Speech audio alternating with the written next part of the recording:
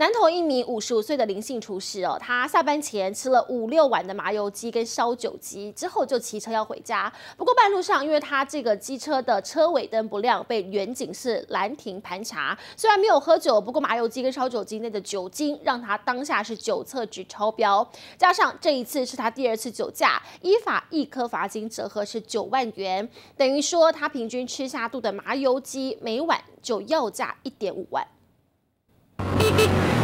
前面这台机车车尾灯没亮，远警马上将骑士拦下进行盘查。那你的电话是派去啊？对啊。虽然只是车尾灯坏了，但远警为了安全起见，对他实施酒测。没啉酒吧？没了。哦。口口声声说自己没喝酒，但数字会说话。对不起，您喝酒了。虽然乖乖配合警方，但抱歉，酒测值零点二九，明显超标。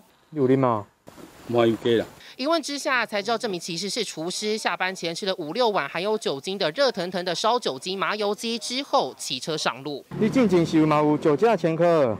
年前啊，我今晚都唔敢啉。坦诚自己有酒驾前科，只是几碗烧酒精麻油鸡还是让他浑身酒气。一般在这些补品里面，通常都会添加酒，在我们人体里面哦，代谢通常都要一段时间。